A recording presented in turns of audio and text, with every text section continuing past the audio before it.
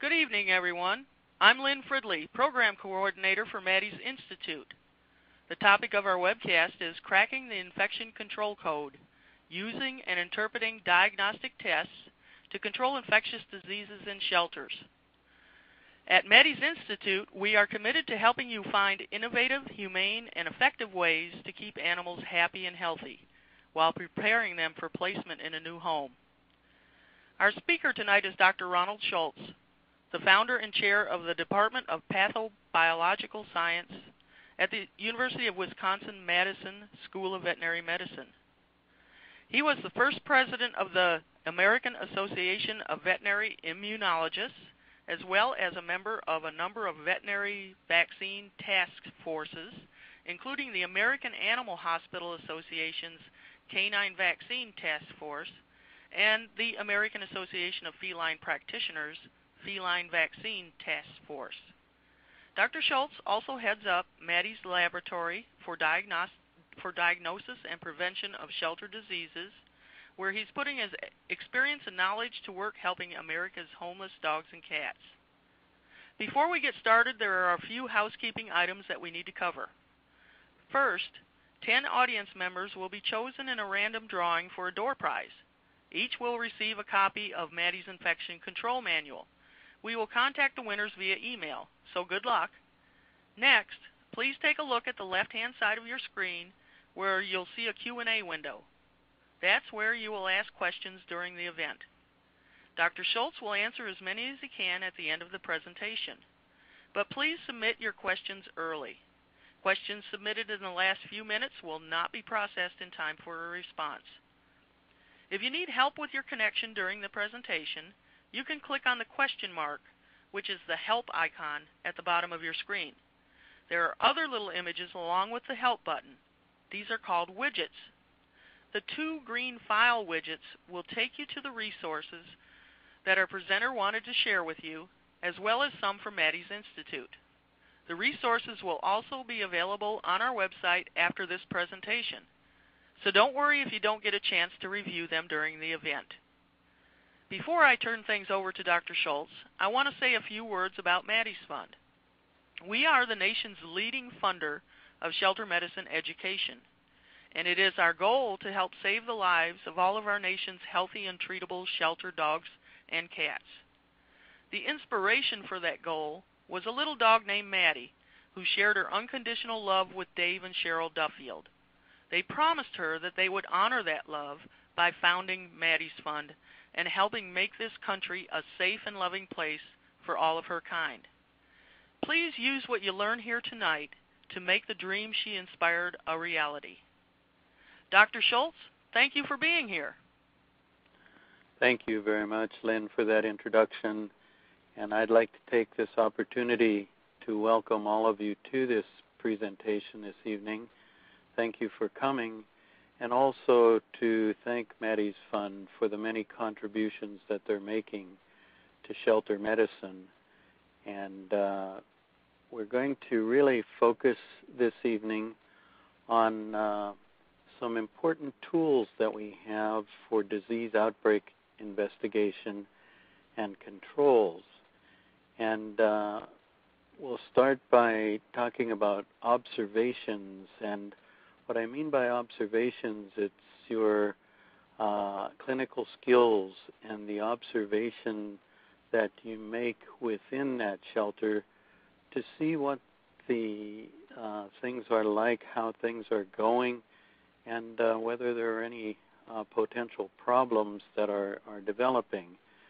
And so being aware is uh, critically important. Once we have a problem develop, then we have to consider what kind of diagnostics we have available for testing to determine what disease or diseases might be causing the problem. Frequently, uh, that can uh, be made almost through observation, but more often than not, to confirm those observations or those clinical impressions, we need to have these diagnostics available.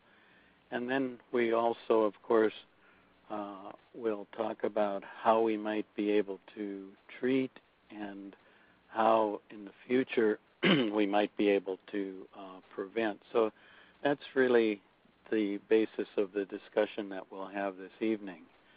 And so I want to talk a little bit about the different types of diagnostics. And there's really two basic methods that these diagnostics use. Uh, one is uh, often used for the detection of immunity, and that would be especially through methods that detect antibody. And it might be antibody to a specific pathogen uh, that we are concerned that's causing some disease. Another type of uh, detection method is a detection of antigen, and that's uh, frequently designed to look at the agent that might be contributing to the outbreak. Uh, and very recently, we have uh, technologies that now look for the nucleic acid of a potential pathogen, virus, bacteria. Uh, in general, uh, it would be one of those two, although we could even be looking at a parasite or something else. But uh, detection of antibody, usually immunity is what we're looking for there, but there are exceptions, and I think that many of you in the audience know that when you do a test to look for the feline immune deficiency virus, we're really looking at antibody in the animal. And the reason we can do that is antibody and infection are synonymous in a feline immune deficiency virus infection. In contrast, and we'll be talking more about this as we go along, antibody to something like canine distemper is not necessarily an indication of infection. It is more likely an indication of immunity or protection. So that's important with regard to the diagnostics and what we're uh, really trying to measure. And then the method of detection, we'll uh, discuss that in more detail, but there are a variety of different methods for uh, detection. Now, the, the antigen detection, as you can uh, see in the slide under two, we can be looking, uh, of course, for nucleic acid. And when we are, uh, that happens to uh, be one of the newer types of techniques. So we can get into those methods of uh, detection of antigen. And uh, the immunologic techniques, antigen capture, and it's usually an antigen capture ELISA. And here we use as an example the feline leukemia virus test. This could be the uh, the combo test that you probably run frequently.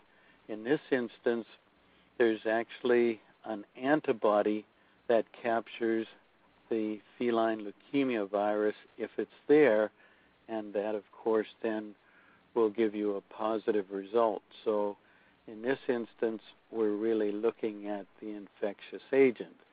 Same thing if you're uh, using something like the IDEXX uh, fecal parvovirus SNAP test. That's also, of course, capturing that parvovirus so that it can be detected if it's there. And uh, that's an important uh, tool.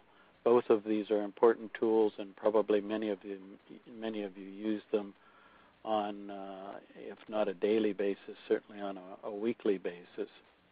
And as I've already mentioned, that uh, immunologic technique that looks for antibody, uh, we'll be looking at that for two purposes to detect the agent or to determine whether or not the animal is immune to, uh, to that agent.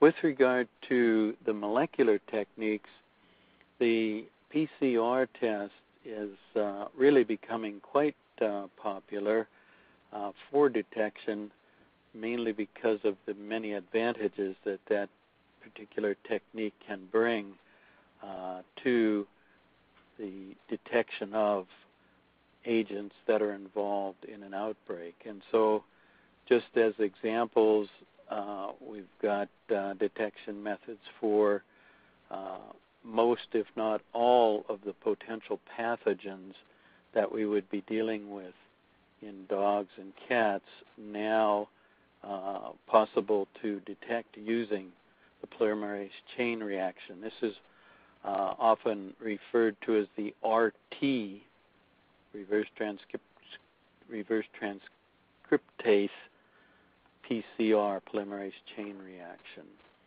Uh, the thing that uh, we'll talk about as we go along, this technology is new enough, and especially where it's being used in an environment uh, like the uh, shelter, that uh, we still have a lot of things that we have to look at because we're not always sure what that positive result may really uh, indicate, especially in a recently vaccinated animal. We may not be recognizing the agent that's causing the disease. We may actually just be picking up the replication of the vaccine virus. And so we'll talk a little bit more about that as we move along.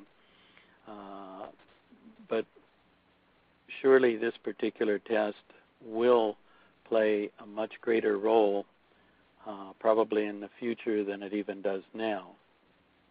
The other thing is that it doesn't always tell you there's an infectious agent that's uh, present.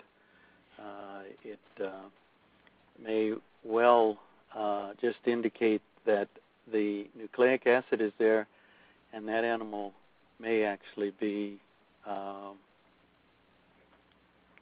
not infectious, uh, even though we, we detect the agent. Well, we have a poll question, Dr. Schultz. Um, this is for the audience. Uh, please answer.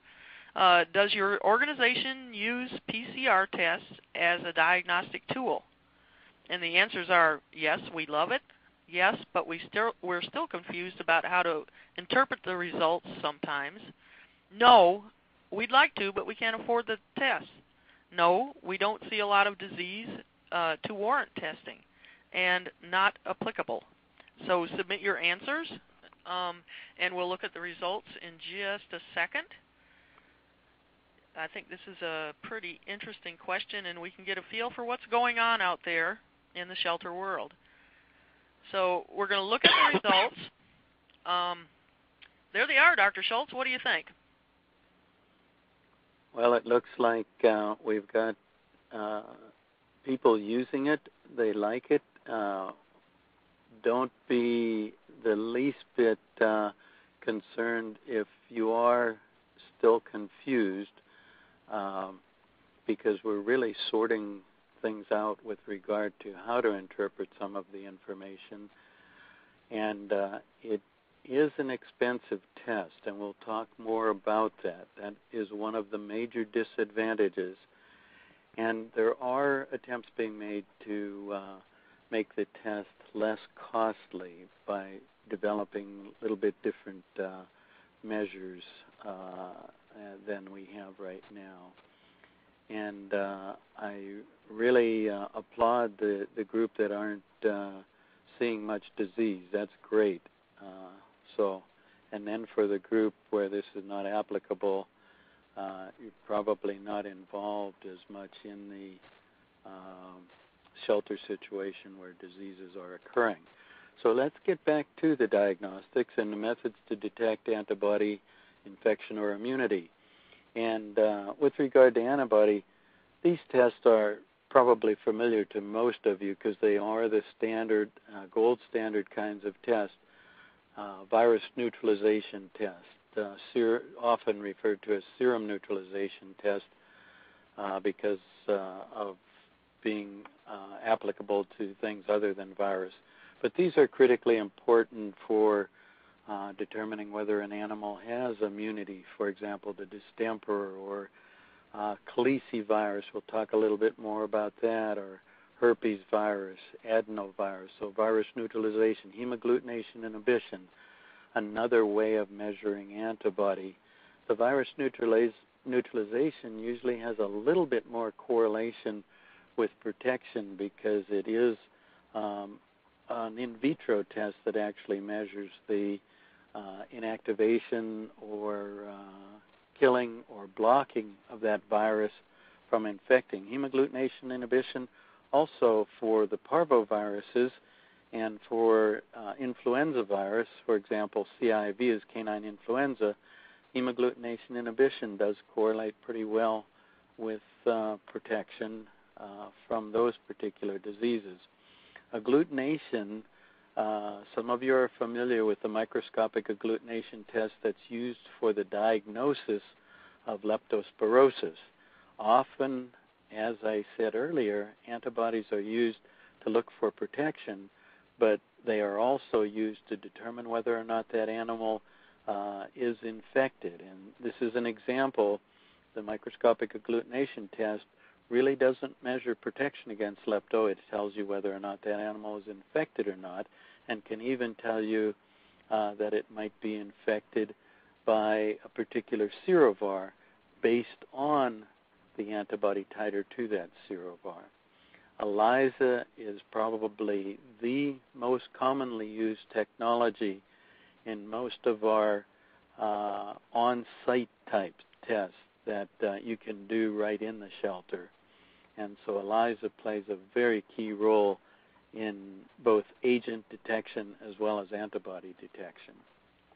And then fluorescence plays a role too uh, with certain pathogens. That happens to be a very useful test. And I know there's probably only limited testing, if any at all, for Lyme disease or Borrelia burgdorferi infection in shelter animals, but uh, the tests that are available uh, can tell you whether or not there's protective immunity or the animal's infected or not infected, and whether it's a persisting or long term infection or an acute infection. So there's some real uh, opportunities with these various tests. Now, with regard to the polymerase chain reaction, uh, many shelters and uh, also practices are having samples tested by this method now. Uh, as I indicated before, it is an excellent test. It has a high sensitivity and specificity, uh, but it is new, and some of the quality control standards and some of the questions uh, about what uh, does it mean if the animal is positive and the animal had just been vaccinated within the last week or two. Uh, are there uh, certain ways of shipping samples? Uh, the samples that go for PR, PCR testing, do they have to be handled in, in any particular way? And these are, are questions that need to be answered. Excuse me. Uh, where can you get the testing done? Well, uh, commercially, IDEXX Laboratories uh, is really providing uh, a number of canine and feline uh, tests. And so I'm sure that some of you that are using the test are using IDEXX Lab. But uh, there are also state diagnostic labs that are providing the test. And so that's um, something that you want to check uh, and see whether or not those tests are available through your state diagnostic labs. Not all of them provided uh, this test yet. And then interpretation of results, cost, uh, yes, it is uh, a costly test. And, what do I mean by that? Uh, how much should you expect to pay? Well, if you were looking, for example, at samples and a there was a single sample, and you wanted to know if that sample uh, uh, have, happened to have uh, distemper virus in it, you could be paying anywhere from forty to sixty dollars for that one test. But there are also uh, tests where they multiplex, and multiplex means that on that sample they could run three, four, five uh, different agents. And these would be agents that uh, you would probably want to know in a differential diagnosis. Are they there and could they be contributing to the problem? And that multiplex test may cost you just an extra 10 or 20 dollars to get results on a variety or a number of different um, agents. So that's something that you have to ask about and you need to consider when you're using this test. Now, uh, not all results are presented in this way. Some of the um, labs, uh, for example, IDEXX, they will tell you whether it's a positive, a suspect, or a negative, and they won't necessarily, uh, you wouldn't necessarily get a, a cycle number. And this is a thermocycler, and what it tells you is the lower the cycle number, the more of that particular agent is in the sample, the more nucleic acid that's in the sample. So, in this particular situation, these happen to be cycle numbers that we use here at Wisconsin with our PCR test. And if we had a sample with a cycle number of 35 or lower in a sample that we're looking for distemper or parvo, we know that the virus, or at least the nucleic acid from that virus, is in there, which means that that animal from which we collected the sample was infected, even if infectious virus is not present within that sample, we can still pick it up. Uh, and then there's a suspect range, and in the case of our testing, that happens to be greater than 35, less than 39.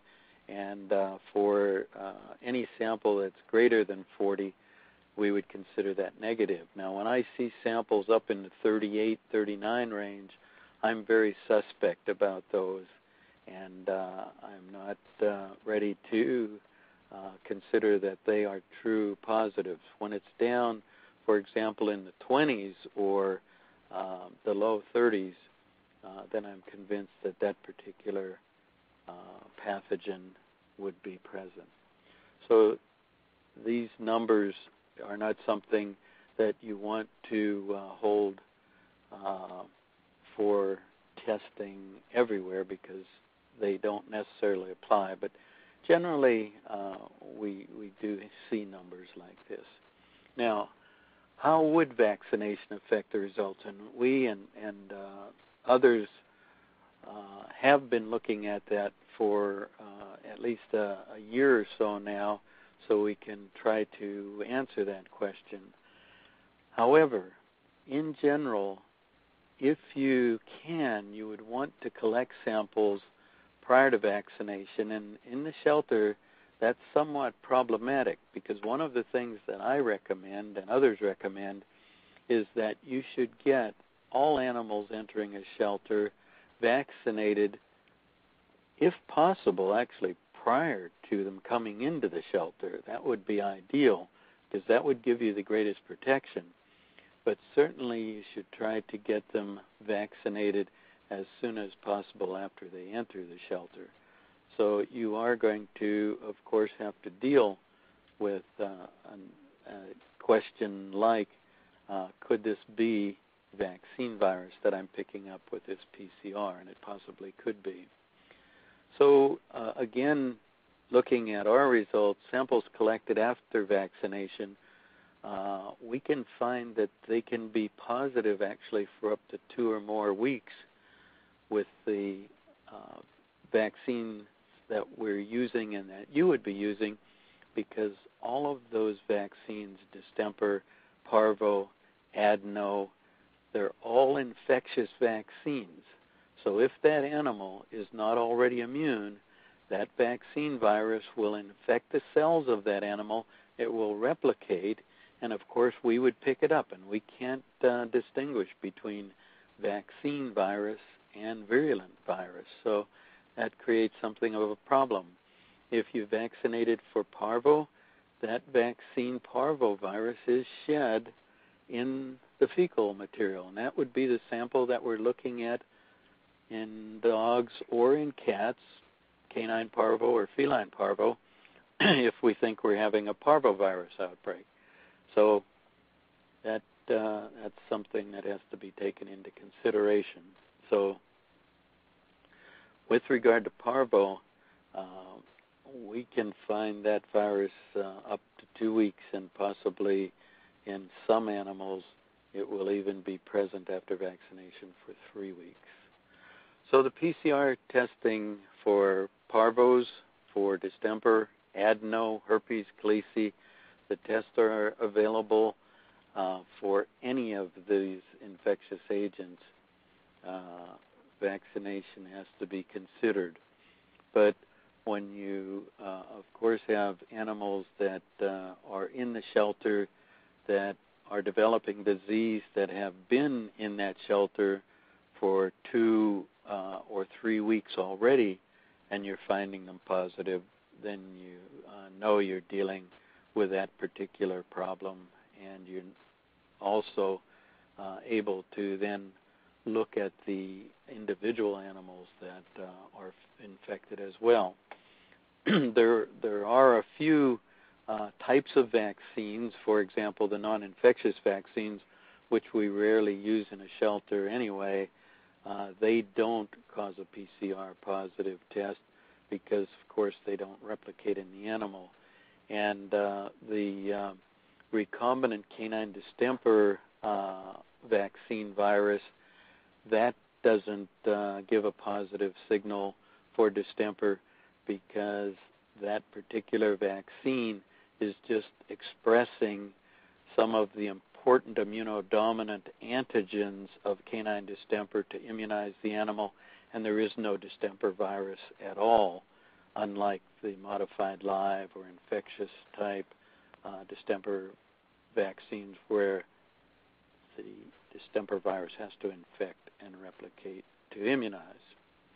Continuing with PCR testing, uh, one of the things that is really important is that you have got to be careful when collecting samples because with the high sensitivity of the test, you can easily contaminate those samples. And I have seen a situation uh, on a number of occasions where there was one infected animal, but unfortunately it was collected early in the series of individual samples, and this is when you're looking at individual animals, and then about 10 or more animals got uh, contaminated with a small amount of that sample from the infected animal, and every one of those showed up as being positive or suspect until it got diluted out. So this test is an excellent test because it is very sensitive, but it uh, is a problem because it is so very sensitive. So when collecting samples, be very careful not to contaminate. I know this might be very difficult in certain circumstances in shelters, but uh, changing gloves, for example, when you're collecting that sample, uh, that uh, might be uh, the only way you won't contaminate that sample. So, how do we use this uh, PCR? Well, one of the ways that we use it is to ensure that the animal is no longer infected and shedding, and we'll talk more about that. But if we want to send that animal out for adoption, or if you want it to go into a foster home, you surely don't want to be sending out a canine distemper positive or a uh, canine parvovirus positive animal. Uh, so uh, this is a really uh, valuable tool to uh, look at whether or not that animal is safe to go out. And so now we have another poll question. Yes, we have another poll question. I want to encourage everybody to get your questions in to Dr. Schultz as we go along through this presentation. If your organization utilizes a PCR testing, where do you send the results to be analyzed? IDEXX Laboratories, your state's diagnostic laboratory, VetPath Laboratory, another commercial laboratory, and we don't run PCR tests or not applicable. So get your answers in, and we'll be seeing what the audience says on this question in just a second. Um, and make sure you get your questions into Dr. Schultz. Let's look at the results.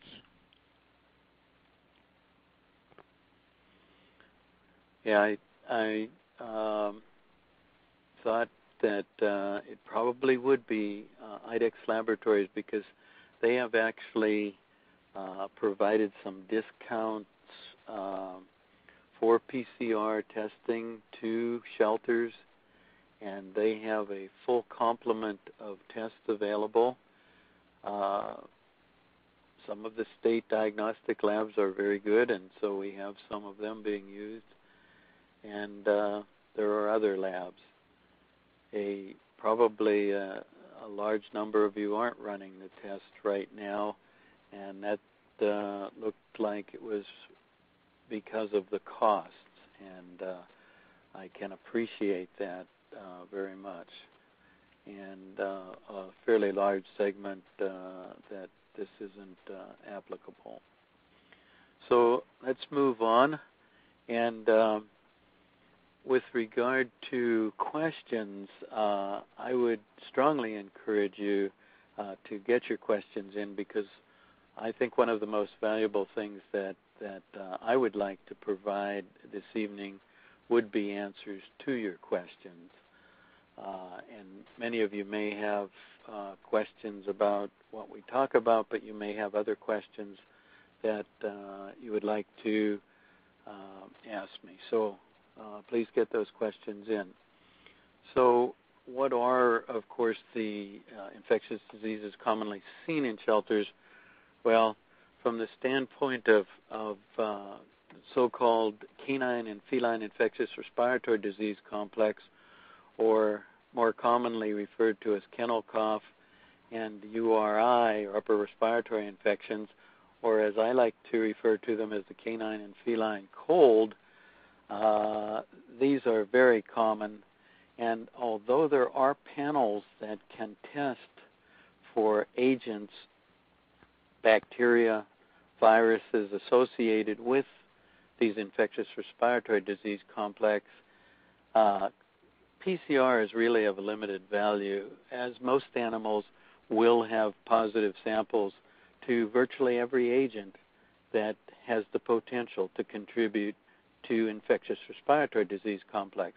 And the reason for that is these diseases are not just infectious agents and it's not just a single infectious agent, and it's multiple agents, viruses, uh, ventilation, stress, and a whole variety of other things that play a key role. And that's why I refer to them as the canine and feline cold. And uh, it is my feeling that um, we really aren't able to do much even when we have an outbreak of the infectious respiratory disease complexes. So it probably isn't all that important that we know exactly what's causing the problem because we can almost be assured that Bordetella is going to be there. We can be assured that certain of the viruses are going to be there. So that's something to keep in mind with the infectious respiratory disease complexes unlike single agent diseases where this diagnostic testing is very valuable and PCR is valuable, canine distemper, the two most common outbreaks that we deal with in the shelter are, of course, distemper in the dog and canine parvovirus. Uh, and so those are the two uh, predominant ones. Now, clinically, the distemper will often start looking much like a kennel cough dog. And that's not surprising because this virus does infect the lung and it's capable of causing a kennel cough like syndrome. So that's why it often starts that way, but generally it's, of course, much more severe. And in time, you'll recognize that it's not just kennel cough, it's something much worse. It's distemper. But I don't know how many shelters uh, we find that, oh, they have some problem with kennel cough, and then not too long after that, uh, it's a canine distemper outbreak. Canine parvovirus, again, that one's a little bit easier using observation and certainly using diagnostic tests like the fecal snap to uh, diagnose that one. So that uh, probably doesn't need a PCR for diagnosis, nor does distemper, but the PCR will work very well in making a diagnosis. More importantly, though, it'll tell you which individuals uh, are infected.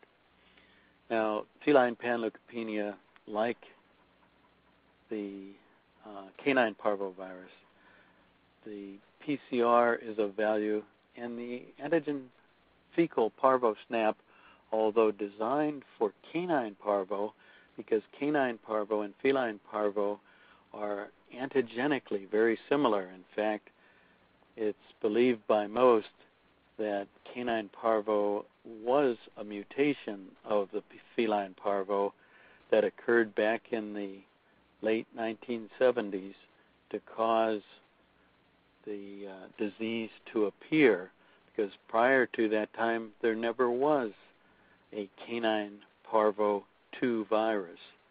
And so it was an entirely new infection in 1978, uh, originated here in the United States, but quickly spread worldwide.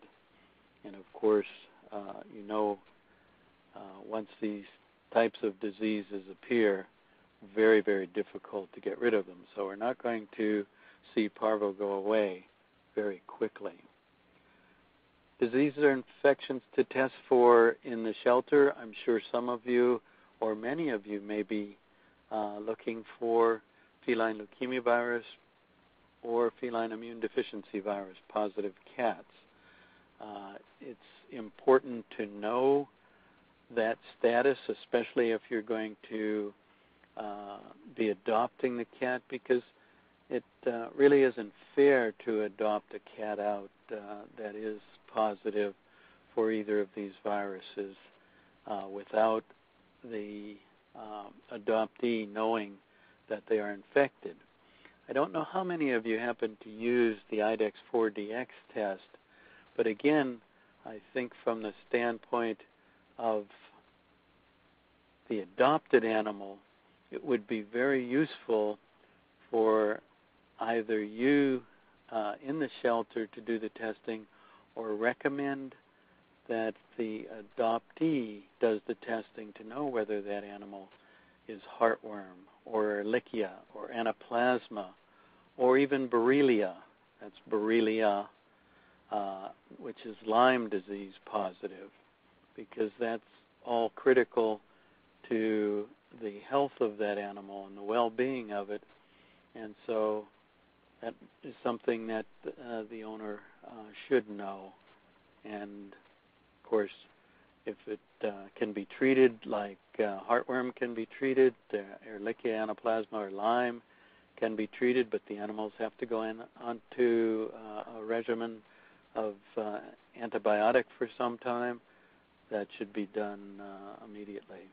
In the IDEXX fecal parvo snap, we've already talked about and how that can be used, but we'll talk more about it as we move through these various diseases. So, what do the tests tell you? Well, uh, again, if we're doing uh, tests for distemper, unless uh, we're looking at an animal under 16 weeks of age and that animal has antibody for distemper, that means the animal is immune. Now, I think all of you are well aware that the younger animal is most likely to have that antibody as a result of the maternally derived antibody they receive through the colostrum during the first few days of life. And so the animal really needs to be 16, 18 weeks or more of age before we can say that that antibody positive animal is protected from distemper. And it's not so much the uh, titer of the antibody, it's really whether or not the animal is actively immunized or actively immune, and then that uh, antibody really does demonstrate protection. And we spend too much time worrying about what the number is, and the number is really very important if we're looking at passive antibody, whether that passive antibody can provide any protection. However, if the animal's actively immune, it will have T cells and B cells that uh, are producing this antibody. And if the animal has a low antibody titer and they would see the virus, that immune system would turn on immediately and can control the infection if it even occurred. And so that's what um, we're really expecting to see in an actively immunized animal. And so if the titer happens to be run by a titer test and it's 32 and the lab says, well, you need a 64, or if it's 16, you need a 32, you really don't if that's active immunity. That animal will be protected, and we'll talk a little bit more about that later. If you do a PCR and it's distemper positive, that animal is very likely infected. There's uh, very little chance that it's not infected. So, antibody positive and PCR, well, the virus was present, but the antibody had developed, and that virus may be neutralized. And we see that in animals that are challenged that are already vaccinated.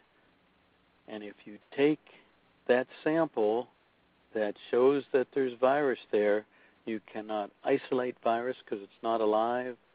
Uh, it's really neutralized, but the nucleic acid is there and it's still being picked up. So there's so there's some uh, um, interpretation issues that come into uh, using the PCR correctly and interpreting it correctly. Now, one of the things that you can do to help reduce the cost when using PCR, if, for example, you want to know in a group of dogs, are those dogs infected, you can take nasal swabs and you can actually pool the swabs and see whether or not you've got a positive. Obviously, if you want to know about the individual, you can't do that. But frequently, when we want to know uh, initially is this distemper? Is this parvo? What is going on? That's where uh, pooling works quite well. And we, we do it often as we're looking at groups of animals to know whether or not they're still infected or not. And uh, taking a, a, pool of five or taking a pool of ten, it does help uh, save on the cost of the testing. Same thing with uh, fecal swabs for parvo. So, dogs infected with distemper, uh, as I mentioned earlier, they may be showing some signs of kennel cough, but they really are infected with distemper. And uh, the incubation period, it's really important, and I think most of you are aware now that uh, it can be up to six weeks. And with a lot of the biotypes that are around uh, and causing diseases in uh, shelters today, a good number of them do have incubation periods of as long as six weeks. The shortest the incubation period for any of the biotypes of distemper uh, will be is two weeks. So anywhere from two to six weeks.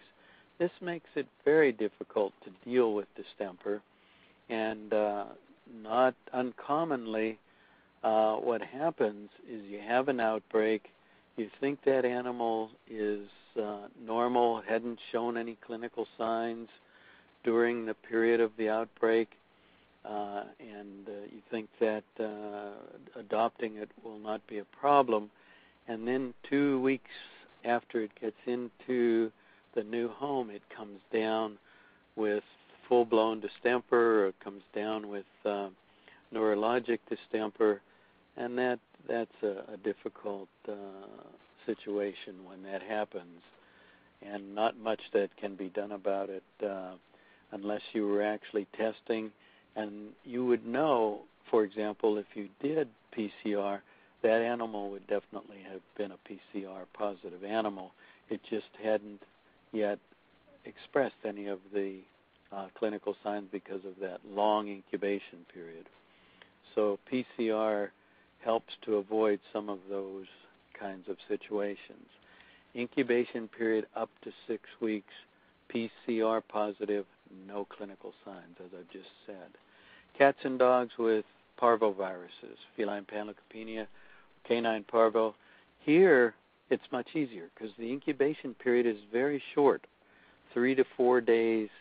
At the maximum, it would be up to seven days, and that's a rare event. So, uh, PCR positive really is positive, and we have a lot more success uh, in controlling parvo outbreaks in both canine and feline species than we do actually the distemper outbreaks. They're they're harder for us to deal with, but I can tell you that we have in uh, a number of shelters now by using antibody tests for distemper and using PCR for distemper including some pooling of samples, we've been able to uh, uh, really control uh, the distemper. Uh, we can, with the antibody, test animals, especially on site antibody test, as the animals are coming into the shelter.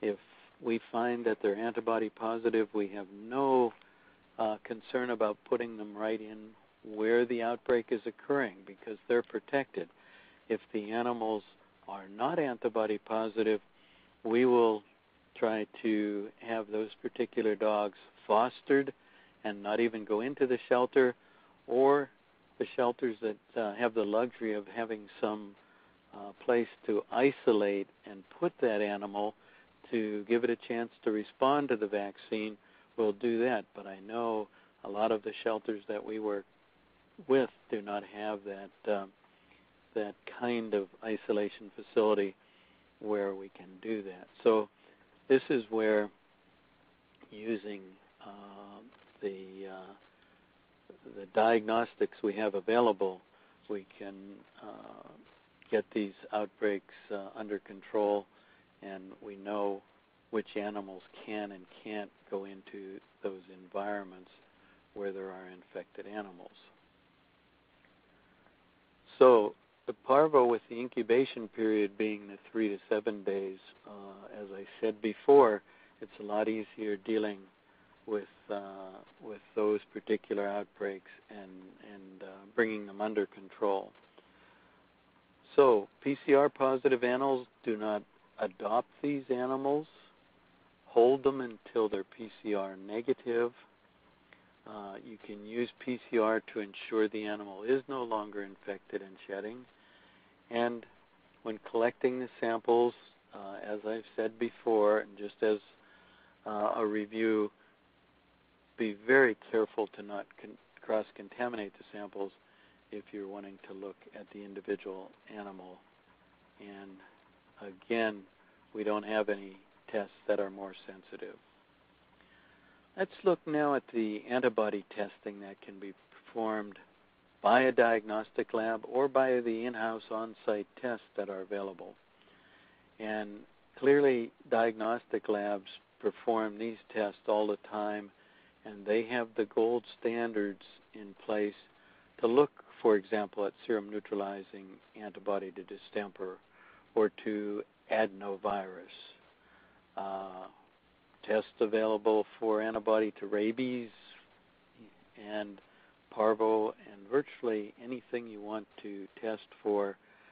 Uh, you have the laboratory test, and for some of the important diseases that contribute to outbreaks in shelters, we have the on-site test. Uh, so we've we've got almost everything available. This is an example of a, a plate where they're doing a virus neutralization test, and those wells that are purple, there was antibody in those samples that was diluted out, and it protected the cells, which, when stained, turn purple, protected them from being destroyed by the virus. So that's your titer. You can read your titer down there. Whereas these two, and you usually run it in duplicate, these two, uh, same sample, no antibody whatsoever, antibody uh, for a number of dilutions, and usually they're doubling dilutions. So that's how you get that 1 to 2, 1 to 4, 8, 16, 32 titers. It's doubling dilutions. One of the things to always remember about a titer, generally it is not that specific number. For example, if I give you a 1 to 8 titer, it's usually somewhere between one dilution above and one dilution below. So that titer of 8 is somewhere between 4 and 16. Uh, that seems okay, but then when I have titers, for example, of 5,000, the dilution before 5,000 would be 2,500, and the one after 5,000 is 10,000. And when you hear that the titer is somewhere between 1 in 2,500 and 1 in 10,000, you think, boy, that's not a very good test. But it's the same as the difference between the 4 and the 16 when the titer was 8. So that's that's always uh, a point of confusion with regard to these titers. This is just an example of a hemagglutination test, and here we have hemagglutination. Here it is inhibited from agglutinating. So that means that this is an antibody positive well, and this is an antibody negative well. Because when there's antibody, you don't get any agglutination. You inhibit the hemagglutination, and that's how you would read those particular uh, wells and titers. The in-house or on-site test for antibody, we've got two that are commercially available. Uh, they're both used uh, by many um, shelters to uh, test for antibody. They're used uh, even in a variety of labs where samples can be sent and they would be tested by these particular procedures. Uh, the titer check is a test that looks just at antibody to distemper and parvo, whereas the VacciCheck is a test that can measure antibody to distemper, canine distemper, canine parvo, and canine adeno. And uh, that's for the dog. The company that makes that test is also uh, working on developing a test for the cat but the CAT test is not yet licensed or available. And we have just a, a few slides here uh, uh, that will come after the poll, but the on-site test then are uh, two very useful commercial tests that uh, can measure antibody to those particular agents, and these tests have been correlated with gold standard type tests, so that's important to understand. So now we have another poll question. Yes, we have another poll question. Um, does your organization use on-site tests as a diagnostic tool? Yes, we love them. Yes, but we are confused about how to interpret them sometimes. No, we would like to, but we don't have the funding. No, we don't see a lot of disease in our organization. And not applicable. Now, while you're answering this poll question, I wanted to let you know that we've had a lot of questions come in for Dr. Schultz. We may not get that to to all of them uh, during the Q&A session, but we will publish a Q&A document on our website www.maddiesinstitute.org and it'll be up as soon as possible after this webcast. So keep checking back. All right, we're going to look at our poll results. Okay, wow, that's some oh, good results, good. Dr. Schultz. Yeah, that's that's very good. And I'm pleased that uh, you don't necessarily have to love them, but you could at least like them, and it looks like you really like them, so that's good. So let's let's move on, so we we have some uh, time then to get through the rest of uh, the presentation. So these on-site tests, you are using them, so you're familiar with them.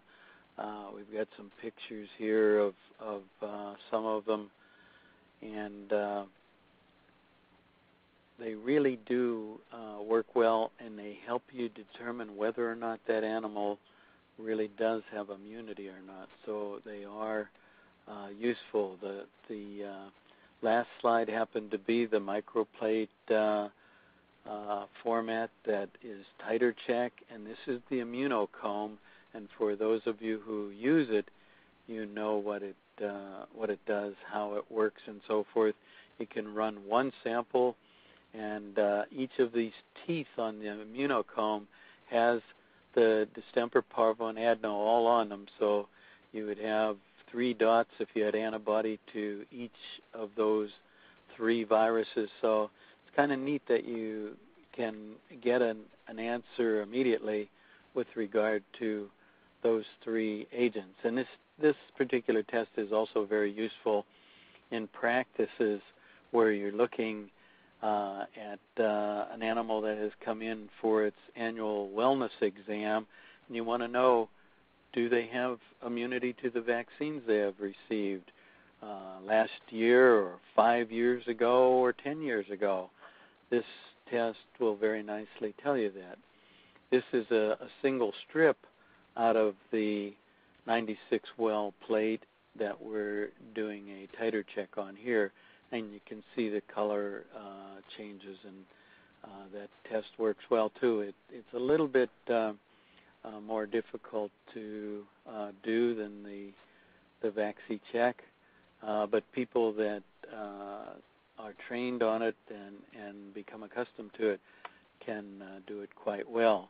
Almost anyone can do this particular test, and it takes about uh, 25 minutes to get a result uh, with this uh, particular test. So that's a, another advantage. It doesn't take very long to know whether or not that sample has antibody or doesn't have antibody. And here are those those spots.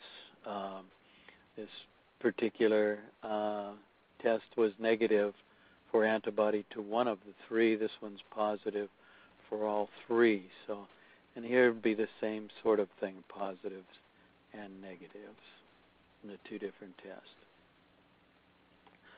So serum antibody does correlate with protection from certain diseases. If you uh, have uh, any concern about canine adenovirus 1, which is the cause of infectious canine hepatitis, much more uh, prevalent is a disease out of the United States than in the United States. But with that said, I want to uh, tell you that uh, just uh, about six months ago, I would have told you you don't have too much to worry about it, and uh, you want to make sure that all dogs are vaccinated with the canine adenovirus 2 vaccine. And we have the virus on our southern border. It's in Mexico, and there are plenty of dogs dying down there from canine adeno 1 or infectious canine hepatitis. And we know that there are still wildlife in Canada that are being diagnosed with adeno 1. It causes, for example, in the fox, an encephalitis instead of kidney and uh, liver disease, which it causes in dogs. Now, with that said, about uh, four months ago, we actually have had an outbreak here in the States, in Massachusetts. Uh, we are not certain, but we believe that it probably came some, from some infected wildlife, probably the fox. And these particular dogs that got the infection had not been vaccinated with canine adeno 2. So they got infected and developed typical infectious canine hepatitis. And let me tell you, this is a severe disease. It can kill over 50% of puppies under uh, about 16 to 20 uh, weeks of age. It can uh, certainly kill adult dogs that don't have antibody. The Adeno 2 vaccine is excellent, but you've got to use it for protection. And these particular puppies were not vaccinated, and we're still testing them because one of the things about the adenovirus, it can uh, establish itself in the kidney, and uh, we're at about, uh, as I say, about four months out right now, and uh, we're still picking the virus up in in the urine. So these dogs continue to shed that adeno1 virus. So uh, we we didn't think it was uh, totally gone, but we were uh, getting a bit complacent. I think that it uh, was going to uh, rear its ugly head again, and it has reared its ugly head. But with that said, uh, I've always been a strong component of Adeno 2 vaccine, not only to, even if there wasn't an Adeno 1 around, Adeno 2 uh, is one of the most important of the viruses that can cause severe uh, respiratory disease or kennel cough. So, Adeno 2 is something uh, that you also want to protect dogs against because it is capable of causing severe respiratory disease or uh, kennel cough. So, what uh, does antibody mean to adeno 1? Well, it there's a good correlation with protection against distemper, good correlation with parvo, good correlation. Rabies, a good correlation. The only thing is, uh, we're not allowed to use it in lieu of revaccination because that's a regulation. And there is a Lyme antibody test called a Borrelia cidal test that also correlates well with protection against um, Borrelia or the Lyme bacterium. Uh, when in the cat, the best correlations would be panleukopenia or feline parvo and rabies there is a correlation with antibody and calicivirus immunity. The only thing is, it isn't serum antibody, it's instead local mucosal antibody in the upper respiratory tract. And that's difficult to collect, but if you did collect it and ran a test and demonstrated that you had antibody, that would correlate quite well with protection against feline calicivirus, one of the major causes, along with uh, feline viral rhinotracheitis or feline herpes virus, with regard to feline respiratory disease complex. So the detection then of antibody as a result of infection, uh, vaccination, so either infection or vaccination, really does demonstrate, as I mentioned earlier, if you're doing titers, it demonstrates that there was both B and T cell immunity because it takes T cells to even get B cell immunity. And those T cells happen to be of a type that contribute to cell mediated immunity by producing a uh, substance known as gamma interferon. These titers also tell you that you have immunologic memory. If you're doing titers over a period of years and you haven't been vaccinating, and you still have antibody there, you know that that animal has immunologic memory. And that memory is being shown in the form of antibody that's being produced by what are known as long lived plasma cells. They were induced by the vaccine and they live for a long period of time, even uh, without overt antigenic stimulation. So, uh, antibody titers are very useful for certain diseases, but not all diseases, and that's that's important to understand because we've already talked about antibodies that instead of give you an indication of protection, they tell you the animal had been infected or is infected. But for others, that antibody really tells you that the animal is protected. And I can't emphasize that more. Okay, with regard to uh, testing, when using the antibody test, of course, you can demonstrate vaccinal immunity, so it's uh, important from that standpoint. If you're vaccinating the animal, two or more weeks after you give that last puppy dose, which should be at 14 to 16 weeks or older, you can do a titer test and know whether the vaccine has or hasn't worked. That's very useful medically to know that. You then know that that animal is indeed protected. The majority of them should be if that last dose is at 14 to 16 weeks, but there are some animals that have enough maternally derived antibody that even at that age, there's a small percentage that the vaccine cannot immunize because it's neutralized by that maternally derived antibody. So, doing the antibody test, you can tell whether your animal is in fact immune as a result of vaccination.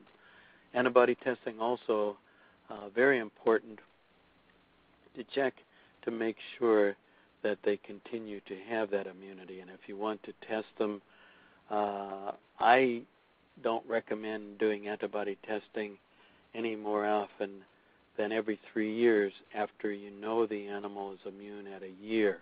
And that's the same as what we, va- we would recommend vaccinating, not more often than every three years after you know the animal has been actively immunized when we're talking about distemper, parvo, and adeno in the dog, or you're talking about parvo or panleukopenia in the, the cat.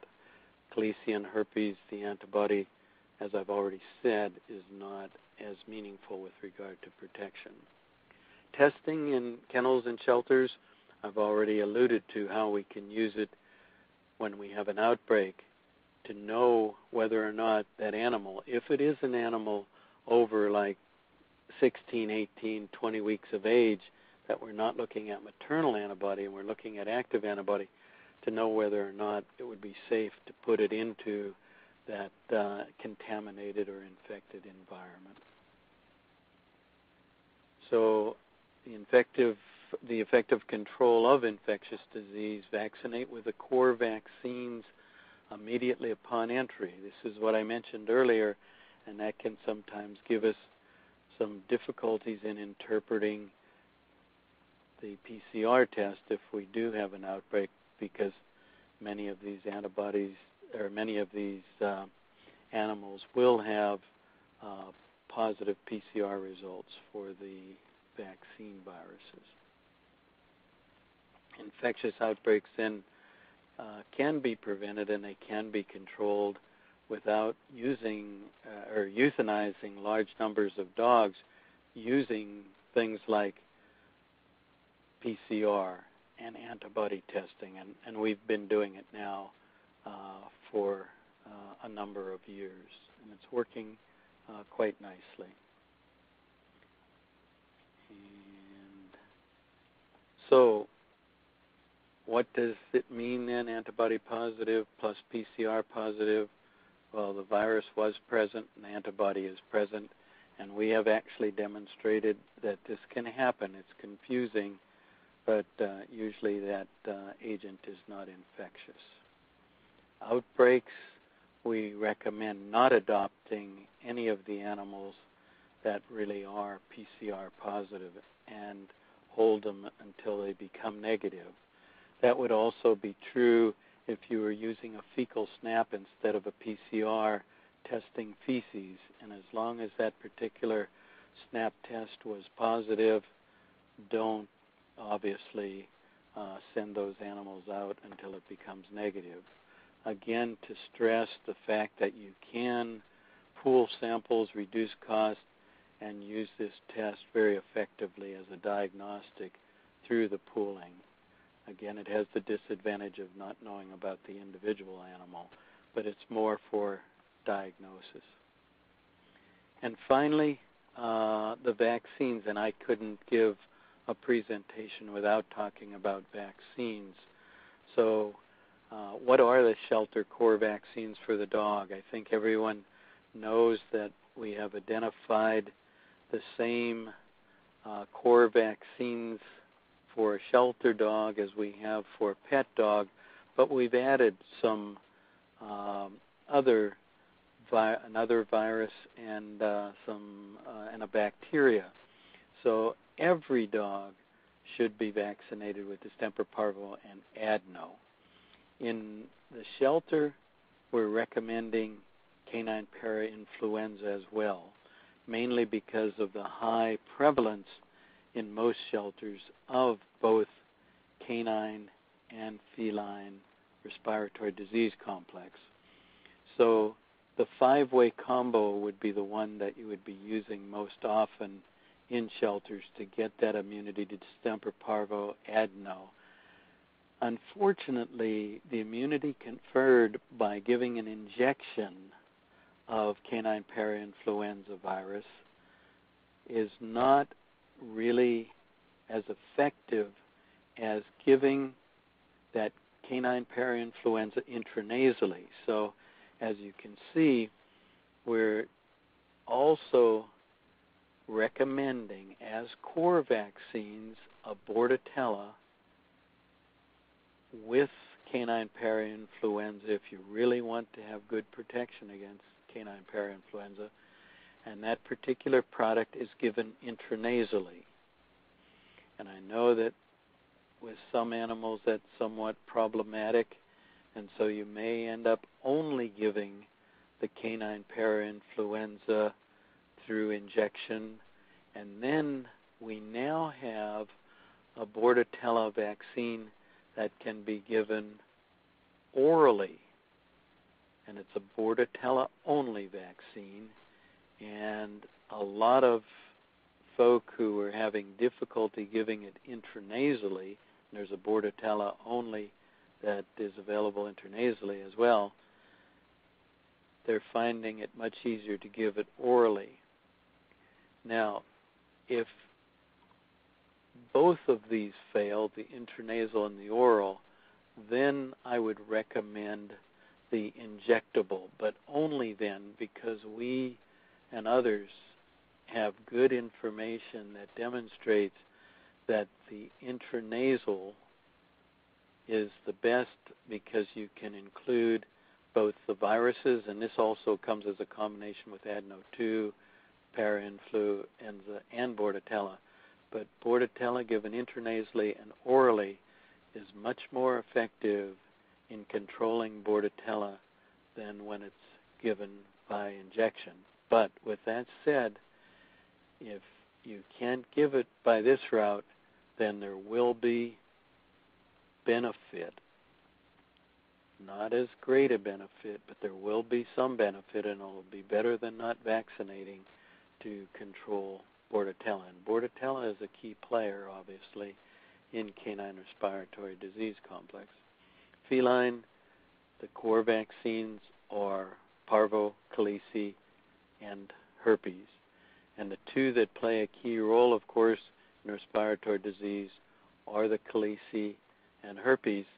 But panleukopenia can even play a key role because it can cause some immune suppression, making that animal more susceptible to the agents that are involved. And there are bacteria and other agents besides just these viruses.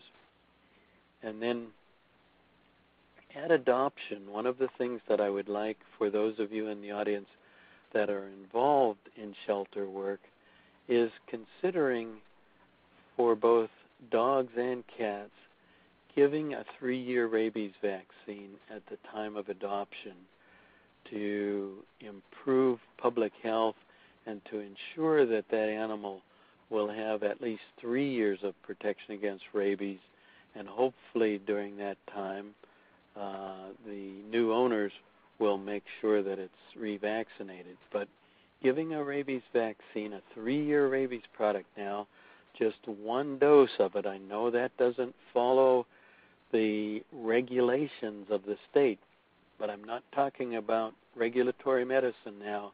I'm talking about protection and a rabies vaccine, when given one dose, it will provide, if it's a three year product, three years of protection.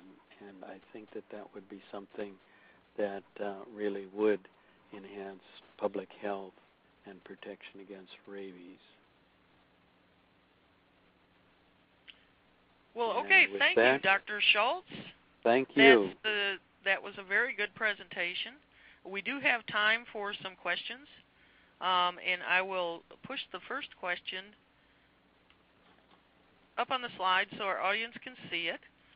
Is it still recommended to keep recovered parvo puppies isolated for another two weeks after treatment due to intermittent, intermittent virus shedding, even if they received an exit bath and a test, a parvo test negative?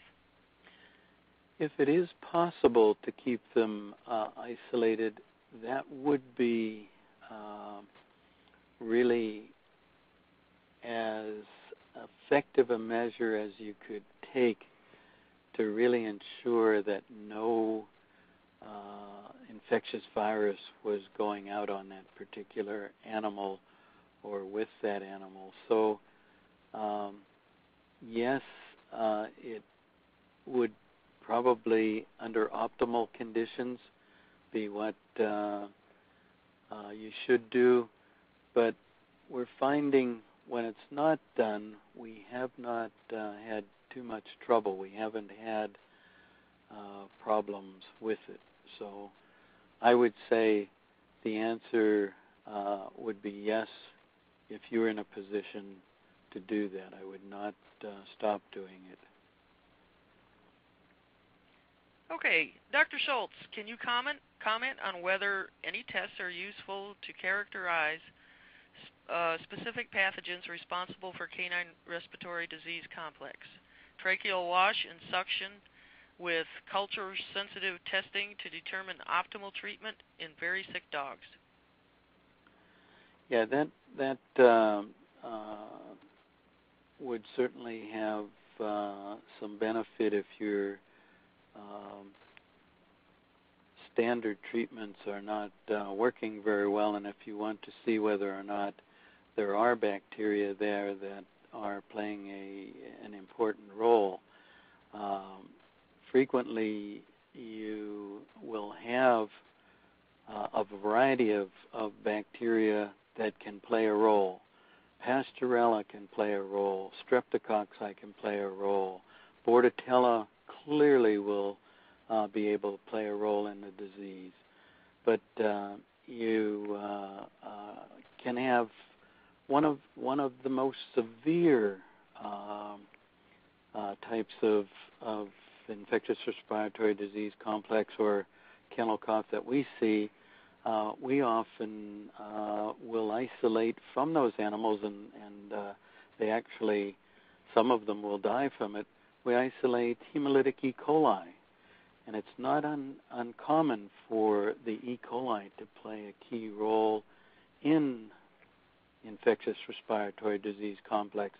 And part of it uh, is if there is any kind of um, uh, situation where you have power washing and uh, aerosolizing the fecal bacteria into the nose of animals, which I have seen happen, and I'm sure others have seen happen even without a power washer and just a hose, that uh, can contribute to very severe cases. You're not going to have outbreaks per se, but you're going to have very severe cases where those uh, organisms are are causing uh, severe disease. So, if you're uh, using culture sensitivity and so forth to determine what um, you should be using to treat, that would be uh, again of of benefit.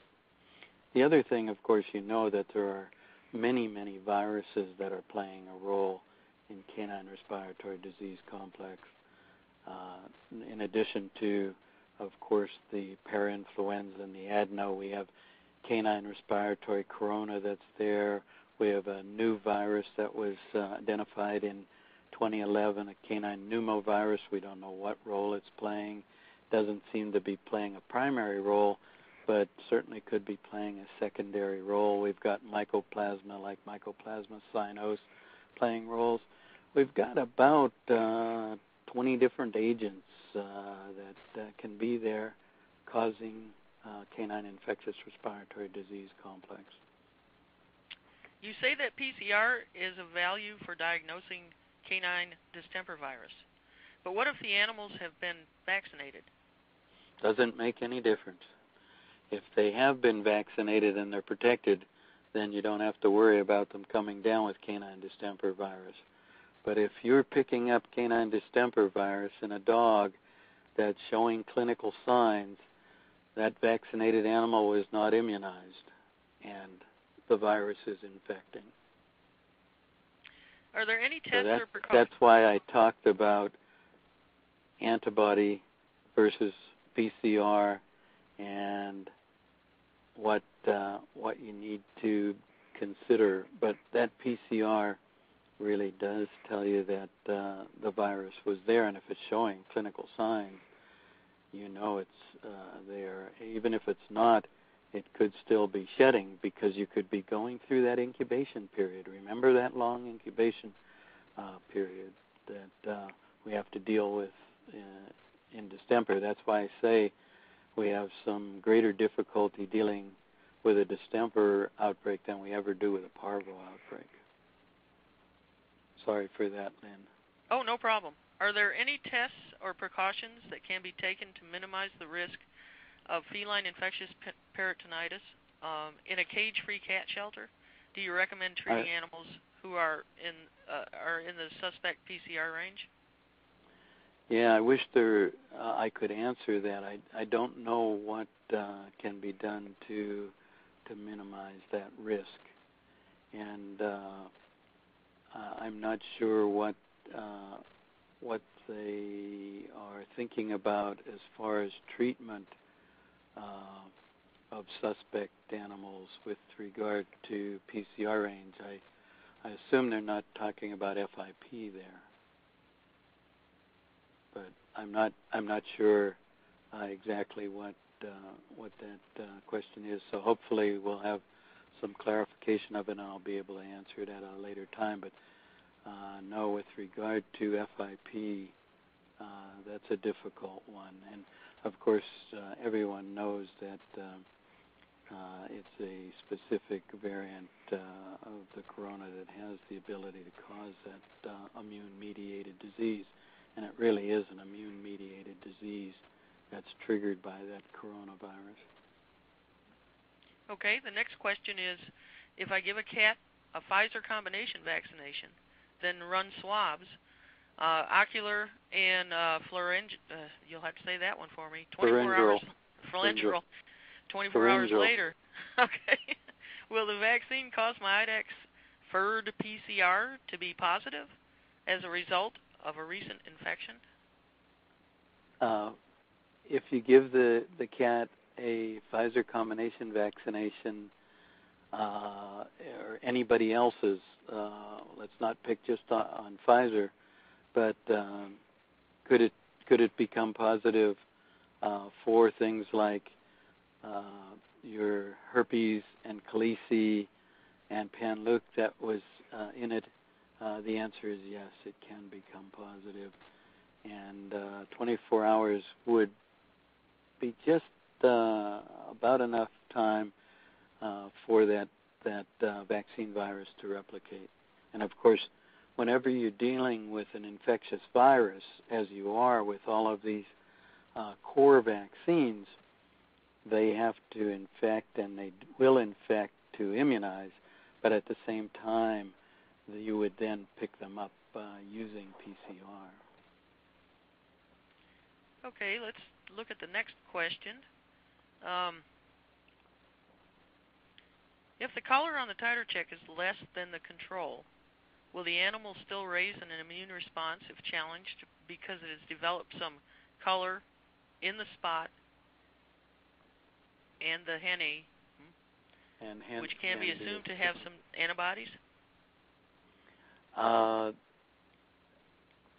I would say that there is a possibility, but not a uh, very strong probability that uh, that would happen. So if your titer check is showing less than the control, uh, could it cause a, a rise uh, in an infected animal?